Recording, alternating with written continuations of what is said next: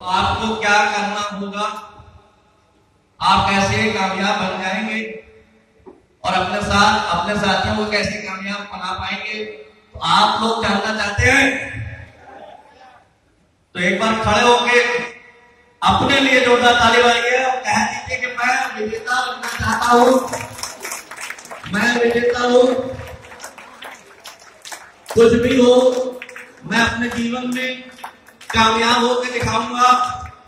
मेरे साथ कोई रहे या ना रहे क्योंकि सपने मेरे हैं, मैं उनको पूरा करके दिखाऊँगा। Thank you